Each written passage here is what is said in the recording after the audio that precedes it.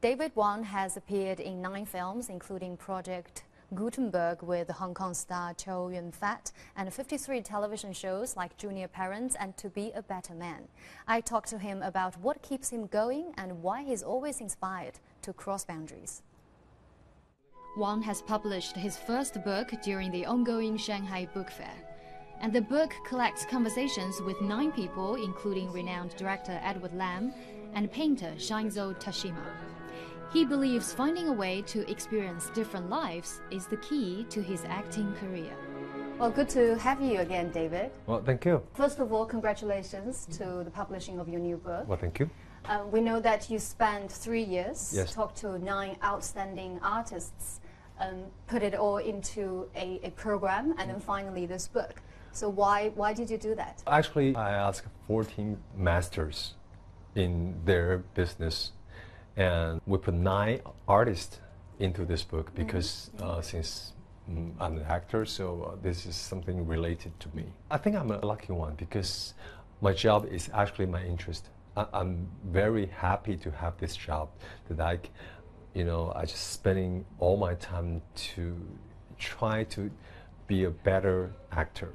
And uh, after decades, I just want to know if other people have the same feeling with me. So um, I start to asking this kind of question. I wanted to interview people, and I want to share their uh, wisdom of life to the audience. Since you're an actor, you have to, you know, you have to have experience. You have to see different things, to have to have different feelings, yeah, and to memorize and exercise it.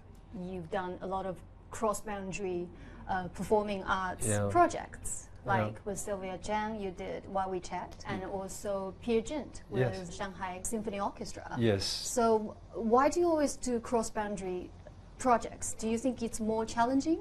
it means a lot to me that doing something fun. Take Peer Gynt for example.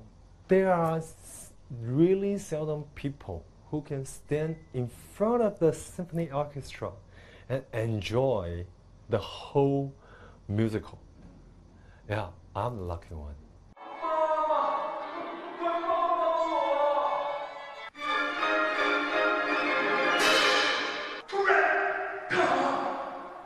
It's the first time I standing in the middle of the, the orchestra, and the music just came from everywhere. You know, I just couldn't enjoy it more. Cross the boundary means that you can always to the, to challenge something new, and you will see well different level. You, you can you can meet different people, and you can always you get fresh. To me, it seems like a person who always break your comfort zone. So, what is your comfort zone? Why do you always want to expand it? There's a guy said that uh, stay in comfort zone that kills you from progressing. Yeah, and I was, I think that's, I think he's right. Yeah, so I just took a role that I was n- probably I will never take. It has the special makeup on me, mm-hmm. so I will become literally a ghost. It's tiresome because you have to spend four and a half an hours For makeup. for makeups, yeah, and spend another two hours to remove it. It turns out like this. Oh, that's you. That's me.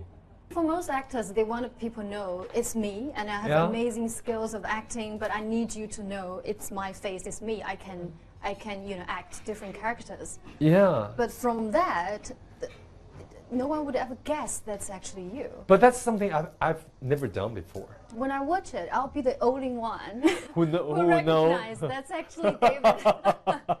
All right, thank you very much, David, for your time. It's Well, always a pleasure talking to you. Yeah. And looking forward to your next um, wonderful work. Thank you. Thank, Thank you so much. Thank you.